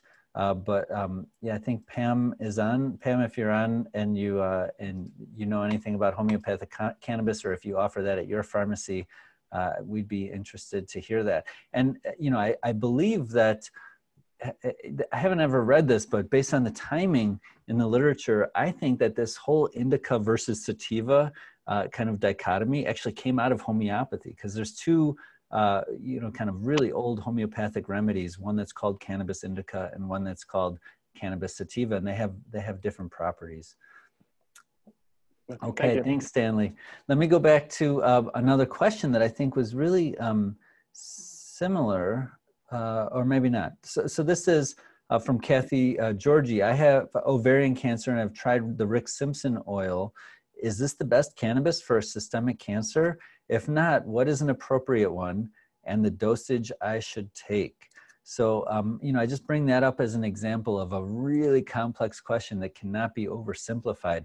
But what I've uh, done my best of in the uh, healer training curriculum is uh, kind of presenting the, uh, the simple but um, multifaceted or pragmatic approach to figuring out how to treat someone with cancer uh, using cannabis. And it, it, really starts with the person's goals, their prognosis and their understanding of the prognosis, the other uh, treatments that they're doing. And then uh, there's often a, a, phase one trial, which is low to moderate dose cannabis to help improve lifestyle parameters like sleep and happiness and quality of life, and maybe to um, have somewhat of an anti-cancer effect because the low and moderate doses have been shown to do that even in people, maybe to have a synergistic effect with the conventional treatments, uh, maybe to mitigate the adverse effects of conventional treatments and to help people tolerate them and stay in treatment and complete their treatments. Uh, and then if there's not uh, um, an acceptable level of response and the cancer is progressing and people want to kind of switch gears and go into a much more aggressive cannabis plan that that's what we would do and um, and we would th there's a number of qualities of what type of uh, preparation we would choose and really um, again we're being informed by the unknowns. So as many different varieties of cannabis as possible extracted in a way that preserves as many of these trace constituents without uh, changing them uh, and uh, at, at, a very high doses administered in a in a routine that enhances but does not detract from quality of life. I mean that's that's it in a nutshell. Uh, but we do get into deeper, uh, deeper discussion in the curriculum. Okay, do we have any, uh, should we do, keep going back and forth, live spreadsheet, live spreadsheet, do we have more live? So we don't have anyone that would like to speak, but I put in some live questions that uh, people had asked in the chat um, on the second tab on the spreadsheet. Thank you for reminding me about the second tab. Okay. Um, First one is from Jeff Tatis. I would like to ask you a question about Epstein-Barr syndrome. A patient of mine in Michigan has a relative in Illinois who's suffering from Epstein-Barr. Haven't found success with regular pharmaceuticals. Yeah, I mean, it's um, Epstein-Barr is a, a, viral syndrome. It causes um, mononucleosis, and um, and for some people, it can be kind of a, a long-term, a chronic contributor uh, to symptoms and uh, there's not a lot that can be done about it. Some of the antiviral medications help some patients. I, I don't have a lot of experience treating it, but um, the, the answer is also included in the curriculum, which is we don't treat the diagnosis, we treat the person. And so treating a person with Epstein-Barr might look very similar to treating a person with multiple sclerosis or treating a person with chronic fatigue syndrome or fibromyalgia or uh, Lyme disease or a number of other things. What do we do? We use cannabis to help them uh, address their symptoms and to get, uh, get some restorative sleep and to uh, uh, you know turn on their uh, uh improve their GI function if it's not working well, enhance uh, elimination or uh, ability to consume good nutrition. we use cannabis to help them. you know, laugh and play and decrease the stress in their life and, and change their response to the stressors in their life and make that spiritual connection that Melissa brought up and that we talked about earlier. So it's, it's treat the patient and not the diagnosis. Let's do another one. I am trying to be able to use your CBD for my mom who has dementia and anxiety. The nursing home in Pennsylvania says they will not allow it. Any suggestions to convince them? A doctor's order might work. Um, I do that here. So uh, I can not get the federally funded uh, nursing homes to administer herbal cannabis, but if we kind of say that CBD is a nutritional supplement, which is kind of a great thing to say, it it, it certainly is uh, a nutritional supplement, and it's sold and used as a nutritional supplement. But the federal government doesn't exactly consider it that at the moment. Uh, maybe they'll change on that one. But nevertheless, the from for the nursing homes purposes, usually a doctor's order to use a nutritional supplement is is enough. Uh, don't expect them to do it with uh, THC containing uh, cannabis, you know, above 0.3%. Now, what else can I say about this? There, um, there is dronabinol, which is synthetic THC. It's FDA approved. That could certainly be ordered by the doctor and administered there. There, there's uh, FDA approved CBD called Epidiolex, which is extremely expensive. It's not going to work. And um, you know, again, Pam, if you want to comment on this, if you know anything about it, but there was compounded CBD available for a very short time, CBD isolate in the compounding pharmacies, and now it's gone. Uh, so it, it, could have been an FDA-approved uh, CBD made by a compounding pharmacist in the capsules or something else and administered, but I believe that that is um, that has been removed from the compounders, unfortunately. All right. I'm going to go back. I'm just bouncing around questions and we'll keep going for a little longer, but I love the live one. So let me know when you have a live question. Uh, yeah. oh, oh, Simone, you got one? Yeah, we have uh, David wanted to. Um, go ahead, David. Hi, great presentation. I, uh, I own a small CBD company, every every time we someone asks about um, how to use CBD, I always direct them to your site. My dad's tuning in. He has a rare autoimmune disease called amyloidosis, if I'm saying it correctly, and he's found that CBDA, and he loves using the raw forms. We've learned a lot from you.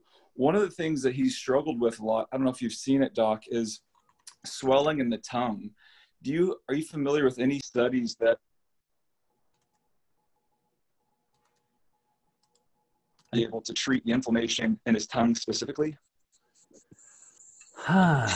no studies and not much clinical experience, to be honest with you. But you know, when I think about, I don't know, I would I would have to do a little research on that. I'm sorry, I don't have a great answer for you. I mean, you know, with with cannabis and and its anti-inflammatory properties, I'm sure you've tried a few different things, but it sounds like uh, my guess is you haven't been uh, successful yet, and the tongue swelling is kind of the thing that's uh, failing to respond? That's the biggest pain, but it's it's it's helped for everything else because if you're familiar with amyloidosis, it's just yeah a lot of different forms of inflammation and pain, but in general, he likes taking it yeah in raw forms and smoothies, just putting the whole flower, blending it up in a smoothie, and it helps. But it's that swelling in the tongue that's been the biggest biggest pain.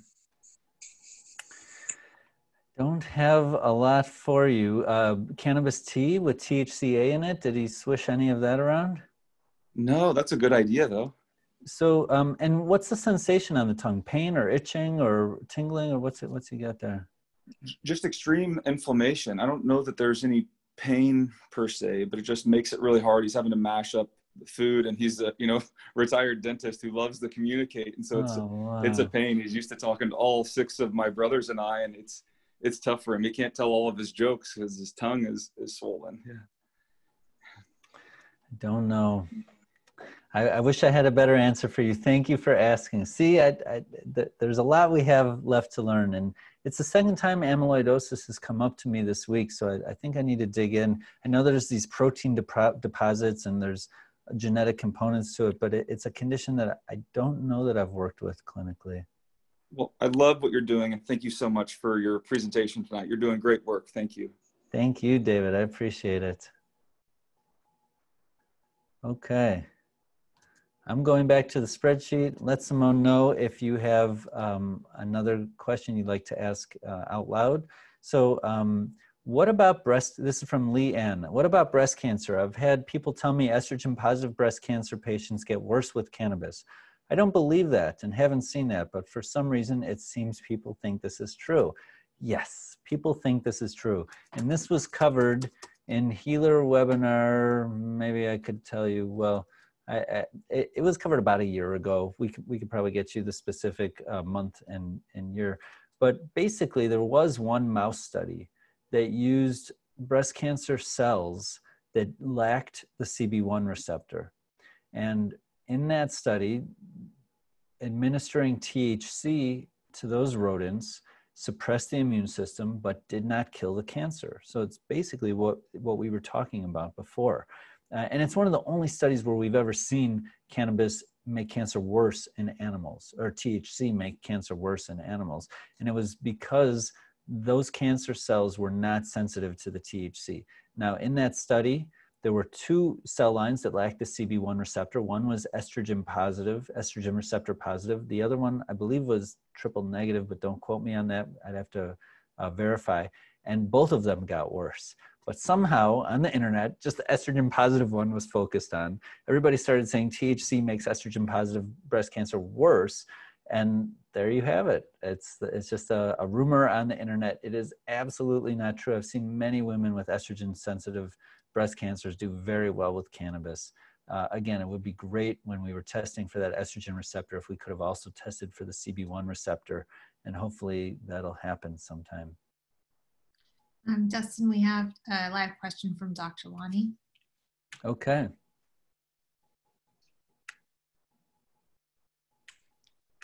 Hello there, Dustin.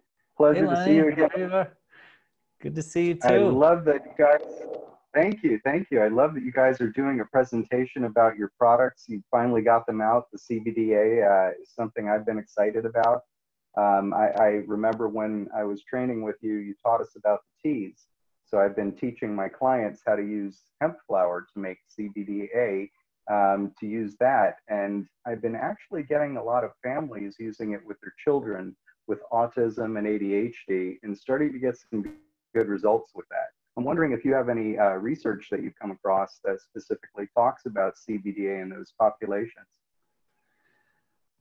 CBDA in those populations. Oh, I think I lost you. You froze. Oh, I, I froze. I'm still here. I maybe hopefully everyone can still see me and hear me. Okay, so I don't know of any human okay, data. There we go. On, I don't know of any human data on CBDA and the autistic spectrum uh, population. I don't think that that that's been done yet. I might be wrong about that, but I, I don't remember it. But you know, th there is a lot of data on CBD, and um, a lot of the mechanisms of action, potential mechanisms of action of how CBD helps, are shared by CBDA. But often it seems like in, in the animal studies that the CBDA is stronger and uh, it gets absorbed better. And so a cup of tea uh, that might just do the trick. And I think if you have access to hemp flowers, uh, there's no reason uh, for most people not to just pop one in your morning cup of green tea or coffee or whatever else it is and let some CBDA dissolve in your tea as well. It's, uh, it's non impairing and it's anti inflammatory, and a lot of people really like the way it feels.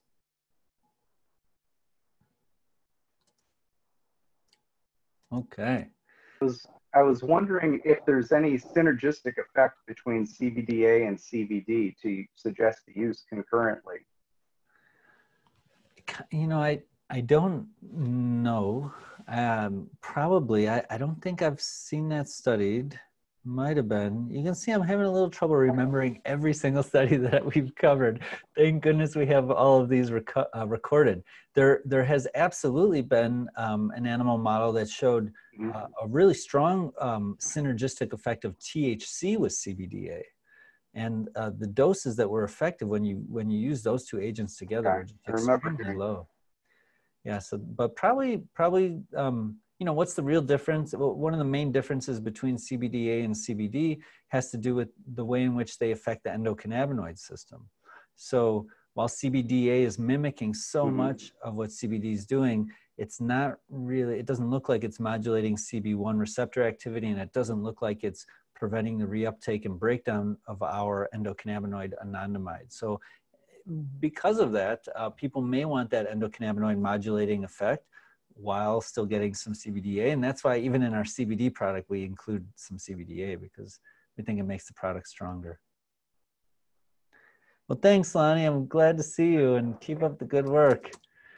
Let's take a peek at um, another previously submitted question because I know the people that do that early uh, really hope their questions get answered. So um, is there a cannabis formula from Susan Johnston? Is there a cannabis formula that might be effective to treat my husband's essential tremor of the hand and the head? I'm taking CBD THCA one to one. That's an interesting one. Uh, formula for general wellness, right? So those are good, two good, um, you know, non non impairing cannabinoids. Would this be effective for that purpose? So that is not where I would start. Uh, when it comes to essential tremor, I've absolutely seen some cases respond very well to cannabis. Most of the time, when I see that, it's uh, short duration effects from inhaled cannabis. And I, I often have people with essential tremor, and they'll start with like an oral one to one uh, CBD to THC, and they'll come back and say it might be a little bit better, and um, you know I'm definitely feeling better and sleeping better, but I'm still uh, my tremor hasn't really changed that much. Um, and and by the way, I see uh, Laurel Shepard, uh, a nurse practitioner that I work with now. She popped into my front page. Hi, Laurel. If you want to uh, jump in uh, and make any comments on your experience with essential tremor, so Laurel and I have been working together for uh, about 10 years, more than 10 years. And, um, and she sees a lot of patients in my clinic and I'm, I'm happy to hear your comments too. But I think uh, it's fine to start off with oral. Probably THC is going to be the, the most likely effective when taken orally. But when it really comes down to it, I think it's going to be the inhaled that's most likely uh, going to be effective, if effective at all. And um, uh, Simone, uh, would you mind, uh, Laurel, do you want us to unmute you? You got anything to add about essential tremor? If you, uh, Simone, would you unmute yeah. Laurel? Okay, hey Laurel. I'm here. Hey there, Dusty. Um, yeah, I've had similar with you in terms of for essential tremor, not seeing long-lasting effects um, from cannabis. They get very excited when they first start using it, and then it quickly diminishes the effect-wise. Um, sadly. But yeah, I've been seeing the same as you have. Yep. All right. Well, thanks for chiming in there. Mm-hmm. Yep. Let's see what else we've got. Um, risk of prescribing for people with hypertension and or cardiac disorders and for people with bipolar. So all of that is covered in the healer curriculum but just to summarize really quickly uh, both cbd and thc can decrease blood pressure but not a lot and it'll do it more so uh, in people that have higher blood pressures, it doesn't really affect normal blood pressure very much. But if someone's got a severe cardiac condition that can't deal with increased demand, meaning uh, if they try to get their heart rate up, they're getting chest pain or they can't, you know, breathe or whatever that is, uh, be really, really careful with cannabis and avoid inhaled cannabis because inhaled cannabis can um, not only make the blood pressure go down a little bit, it can make the heart rate go up. Oral cannabis can do this in an overdose setting, but at like uh, precision doses uh, that are titrated carefully, uh, it, it really doesn't do that. So, uh, you know, we do have people with severe cardiac disease that can very carefully take cannabis orally, but we don't do inhaled. Okay. Oh, and then bipolar disorder. So uh, bipolar disorder, uh, cannabis can help a lot. You know, I think one of the most important things in bipolar is uh, regular sleep rhythm and restorative sleep. And of course, if cannabis is used to promote that, it can be helpful. Uh, you know, just in general, the big uh, kind of epidemiologic data shows that it shows these two things that seem paradoxical. One is that people with bipolar who use cannabis have better neurocognitive function than those who do not but then also, people with bipolar who use cannabis have more manic episodes than those who do not. And I think that absolutely has everything to do with their use pattern. Uh, because we could easily use the wrong type of cannabis and smoke it all night and stay up and do something super creative and have a great time with that. But that is not going to be healthy for someone with bipolar. Um, you know, eh, but they could also take the right type of cannabis to get regular sleep and uh, maybe the right type to um, stay focused and relieve their depression during the day and stay engaged and inspired in life and that that's going to make all the difference and you know uh, since it's one of our themes tonight um, and it's that spiritual piece as well if, if it helps them cultivate that then i think they're going to uh, do better with their condition okay so we often end around now i'll go for another um, five or ten minutes and uh, again if there's any live questions jump in uh, but let me go back to um, these uh, spreadsheets here. So, um, I have a question oh, oh, you got one, Simone? Okay, let's do it. Hi, Dustin. Can you hear me? Yes, Holly. Hi. Hi, how are you? You, you kind of touched on this two questions ago, but I'm working with a new client. She's about 75. She's got lots of medical problems, but she was hospitalized recently for heart palpitations. And she told me that her grandson brought her a joint, which he had tried to smoke, uh, which I was unhappy about. I In the hospital? Yeah, not at the hospital, but before. She does have uh, out of control blood pressure, depression, insomnia. She's on a bunch of blood pressure medications that are not fully regulated yet. Uh, but she says that with, with uh, aspirin, she gets nosebleeds. So, you know, of course, I'm thinking no THC at all for her. But is there some other formulation she might take that would help with some of her other symptoms? Yeah, I mean, if she were my patient, I'd, I'd want to understand like uh, what type of arrhythmia it is and how serious it is. Um, but I wouldn't say that that's a, a strict contraindication to THC. I would just say it means use THC very carefully orally and and start at a dose that's subtherapeutic, like one milligram is probably going to do nothing to her. Hang out there for a few days. You know, I, what I would do is hang out there for a few days and then see what two milligrams or maybe one even one and a half if I want to be extra careful because it's likely that with that route of delivery, the oral route, that she could get some of these benefits without any of the adverse cardiovascular effects, even of THC. And then when you combine CBD and THC, it makes the cardiovascular effects of THC even less likely. And that has been shown uh, in people that CBD can mitigate these uh, kind of uh, cardiac adverse effects. So does that help? Yes, I'm, I was worried about the anticoagulant effects too. I'm wondering if Ah. the raw products have less anticoagulant effects. Yeah. So, I mean, the biggest concern with uh, anticoagulant effects would be a drug interaction with Coumadin or warfarin if she was taking that, which is being used less and less often now. Um, and so, uh, they, you know, usually people when they take Coumadin or warfarin, they have to kind of eat the same amount of vitamin K in their diet. Uh, if they if they eat a lot one day and not the not the next day, it can counteract the effects of that medication. Cannabis is kind of similar, where um, you would want to be on a stable dose of cannabis. And if you were changing the dose of cannabis while taking warfarin, you would want to get your blood checked to make sure the dose of warfarin didn't need to be decreased, essentially, because cannabis can slow the breakdown of that drug. But in general, cannabis does not uh, prevent clotting or, or cause bleeding. And I think, um, you know, so many, there's just so many things about chronic stress that are prothrombotic, th- thrombotic, uh, meaning like can produce clots or make clotting worse. That uh, you know, I, I think anyone with heart disease, getting them smiling and sleeping and uh, feeling centered and feeling you know uh, open to love and connection, I, I think is really important. Okay, yeah, I was concerned about her nosebleeds, and it wasn't clear to me whether her nosebleeds were caused by the hypertension or something else was going on with her. So Yeah. I, I just feel like I need more information. I'm not sure she's a great historian, so uh, know, I feel like I have to be very careful with her. Sounds like a good case for caution. Thank you. I, I think that's a great example for for the rest of the viewers to, you know, just kind of hear how we go about thinking about these sensitive cases. Thank you, Holly. Thank you so much. You're welcome. All right, 838. We haven't answered everything, but we've gotten close. It's interesting. Someone asked me, uh, Dermot uh, Kavana asked me a question about immunotherapy. I'm pretty sure we answered that.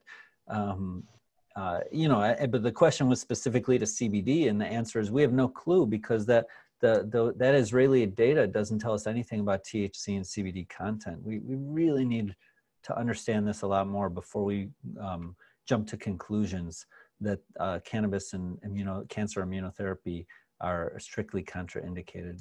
I think there's going to be a lot more to it.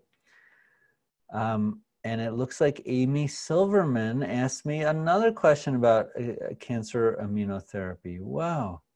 So I think we're um, probably good, good with that. We've done enough of that. Uh, let's see. Deborah Kellick said, um, uh, she's 69, osteoarthritis uh, that I've spent a good uh, part of my day trying to manage my pain. Started to get severe two years ago.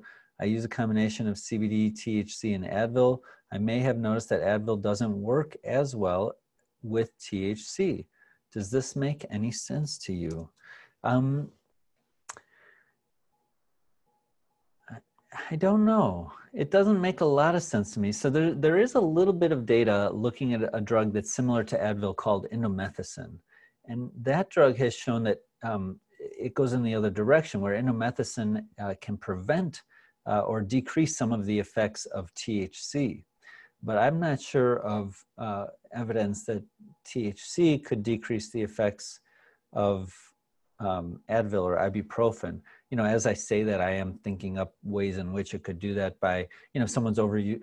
It's just so theoretical, but I'll, I'll show you how I think. If someone's overusing THC and downregulating their CB1 receptors uh, and having higher production of endocannabinoids in order to, um, you know, in order to stimulate those receptors, they may be upregulating the COX enzymes. Uh, and those, because those COX enzymes aren't just involved in um, inflammation, you know, th- those are the targets of the nonsteroidal drugs like Advil and uh, but they also are used to break down endocannabinoids. And so there, there is an interaction in that system uh, where endocannabinoid levels are related to COX uh, uh activity. And, and that's the target of, of Advil, but I don't, I don't exactly know how THC would decrease the effects. Interesting question though. Um, where are we going next? Um, my husband suffers from neuropathic pain, thalamic pain following a stroke four years ago. He takes THC medicinally prescribed along with pregabalin. Uh, these help control his pain but do not eliminate it. Are any other cannabinoids or terpenes that might help him? We are in Canada, so we have access to cannabis products. Um, yeah, I mean, pretty much all of the above. In treating neuropathic pain, the largest body of evidence is looking at combination of THC and CBD. So if he's just using THC with no CBD, I would put the CBD in there. It'll probably raise uh, the, uh, you know, widen the therapeutic window and allow him to take more of both because it mitigates the side effects of THC. And then, as you know, I would put THCA and CBD in there for the for the anti-inflammatory effects and uh, hopefully that could help uh, promote some nerve healing. Um, okay, yeah, we did get a lot of questions about immunotherapy, but we've we've just covered that so much that I think. Uh, let me go over here. Um, is there a uh, let's see we got the breast cancer question. So for Melissa Harvey, is there a recommended CBD and or CBDA dose for someone on the blood blood thinner Eliquis? Thank you. So there are uh, theoretic drug interactions with cannabis and these newer generation of anticoagulants. I have so many patients that have combined them without any problem. Uh, you know, the problem would be easy bruising or nosebleeds or other types of bleeds. And certainly anyone that's on that medication is already on the lookout for that. And if you changed your regimen and added cannabis to it and you started noticing more easy bruising, then, you know, definitely something to talk about with your doctor and, and probably modify something in that equation. Uh, but, um, but I don't see interactions much and, and we see a lot of patients with that. And if anybody else has seen or experienced an interaction with those two, I'd, I'd love to hear about it.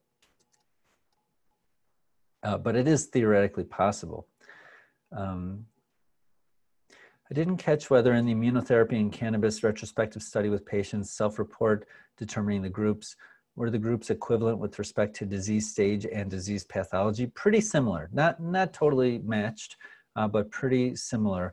And it, it did look like, from my perspective, the cannabis group had a little bit more advanced disease. So that probably, I mean, it's a great, great question, Wendy, and a, a good, a good catch. Uh, it's not a perfect study. It just shows us the signal, but it doesn't give us a, a strong conclusion. Thank you. Um, uh, so what about, uh, this is from Sharon Napper, what about brain tumor glioblastoma? So out of all the different types of cancer, it seems like the glioblastomas and the gliomas are the most sensitive or some of the most sensitive to uh, the anti-cancer effects of cannabis.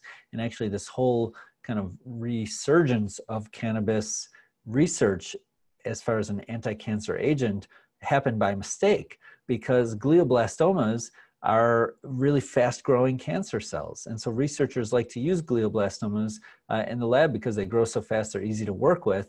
And it was uh, Manuel uh, Guzman and colleagues in Spain that were just really surprised when they saw that their glioblastoma cells were dying when exposed to THC. That wasn't even what they were uh, you know, trying to figure out if THC could kill them or not. And that, that led to more experiments. And now we have data on many types of uh, glioma uh, type cancers uh, in animals showing that CBD, THC, combinations of CBD and THC, combinations of CBD, THC, and chemotherapy and so forth all seem to have a additive or potentially synergistic effects. So it's a, it is a type of tumor that I would recommend um, for most people to use uh, cannabis as part of the treatment.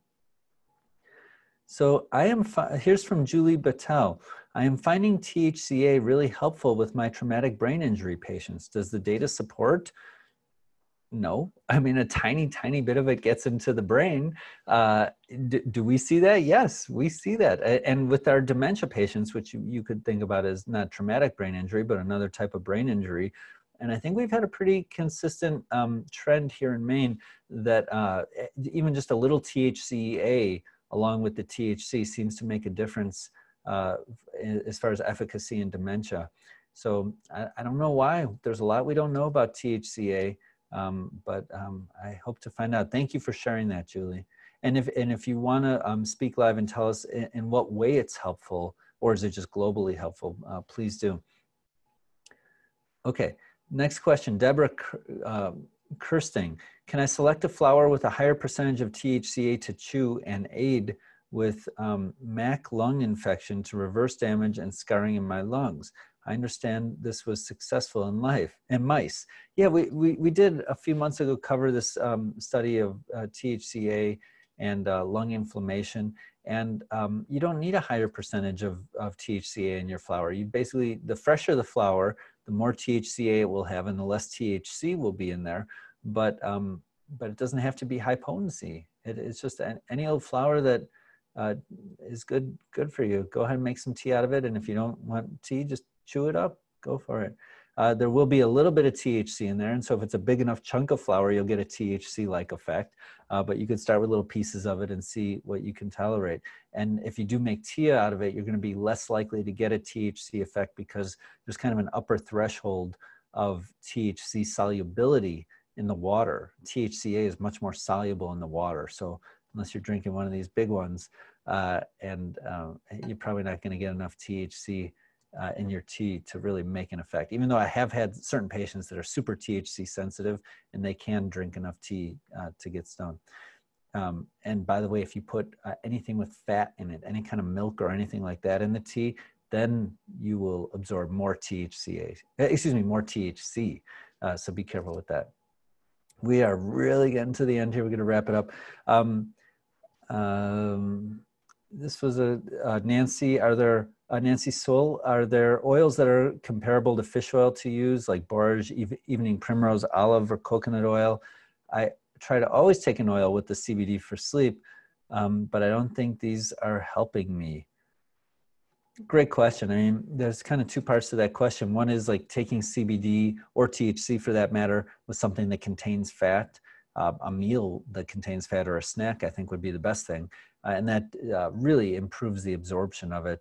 But as far as CBD for sleep, I think a lot of you know I have um, very mixed results with that. And if CBD isn't helping you with sleep, my number one piece of advice is try THC because that helps a lot of people uh, with sleep that uh, don't respond to, to CBD. I, I, you know, we see CBD gets some people great sleep, wakes some people up, and just doesn't do anything for others. It's it's very unpredictable.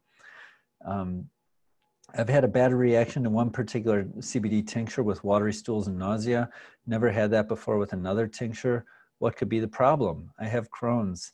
The problem is probably that particular tincture, and there might be something in it that's um, allergenic or uh, a toxin or contaminant. I, I really don't know, but um, definitely, uh, definitely don't take that product anymore. And then, does Dr. Sulak have any suggestions for THC, CBD, THCA? Uh, CBDA for bilateral glaucoma? Great question, Bob. This is covered in the training material. Uh, so in glaucoma, there is increased pressure in the eyes, and it's been known for a long time that THC can decrease the pressure in the eyes. We now have some evidence that CBD can increase the pressure in the eyes, not good for glaucoma, and that CBD can mitigate the lowering effect of THC. So, um, most of the evidence would suggest that someone with glaucoma should use something with much more THC than CBD in it. Now, there's one caveat there, which is that both THC and CBD have been shown to be neuroprotective, and that includes protecting damage of the retina and the optic nerve. And there's this line of glaucoma research in cannabinoids that looks at um, not just controlling the pressure, because people that use medications to control their pressure, some of them still get damage uh, in their in their retina and optic nerve, and the cannabinoids could prevent that damage. But still, I would be um, careful with CBD and glaucoma. I, I, would definitely have your eyes checked for pressure if you if you if CBD is really useful for your quality of life uh, and it's, it's just helping you a lot, then I would consider checking it, but make sure that you you follow up with your doctor and, and your pressures are okay. I think I got them all. Did I do it? I did it. I got all the questions in under two hours. This was a great webinar. I really enjoyed it. Thank you all. Last call for live questions. Otherwise, I will see you next month. And, um, and just thanks again for this opportunity to teach and, and be together. It's really nice to be with all of you. All right, Becca, right at the last minute, the, the door handle question. I see that you, um, you've got one for me. What do you got? Thank you, Dustin. Um, so first of all, I just want to say, I, as a clinician, I love your literature review. Oh my God, it is invaluable. And, and, and, you know, my sweet spot is, is exactly what you talked about tonight in regard to cannabis as an entheogen, because um, I use, I do cannabis assisted emotional healing using yoga therapy. And I just, I, what I want to understand is how you actually go about choosing your um, your citations, which ones you're going to bring up. And I don't remember in the time I've been with you, and it's been a couple of years now, whether you've actually had one about cannabis as a as as an as a ally in for for spirituality. Yeah. Um. So how do I do it? So like basically whenever something comes up, I throw, I get the paper and I throw it into a folder called Next Webinar Studies, which right now has like, you know, 40 papers in it or something crazy. So I, am not presenting you everything that I think is interesting. I'm just kind of catching uh, the ones that are, that are the most interesting to me. Um, and there's, you know, it's, uh, I think what that study shows us, the one we, we talked about tonight is that this is a direction of research, uh, uh, you know, of cannabis research and cannabis practice that was like the dominant uh, cannabis uh, direction in like you know a long time ago. Up until just the last few decades nobody's talking about cannabis and spirituality anymore or cannabis and transforming consciousness. And and as you know becca even though we might not be covering uh, published literature on the topic we usually try to weave that in because I mean, I think so many of us here realize that uh, one of the most powerful healing effects of cannabis is the effect it has on our consciousness. No question. And when it's put within a framework, uh, intentional use of, of, of cannabis for that, it's really very powerful. Yeah. Thank you so much. You're welcome. Well, I'm sure there's more questions. Let's do them next month. I'm going to go home and get some much needed sleep. And I hope you all sleep really well tonight. Have a great autumn and Halloween and all of that. I'll, I'll see you next month. Good night, everyone.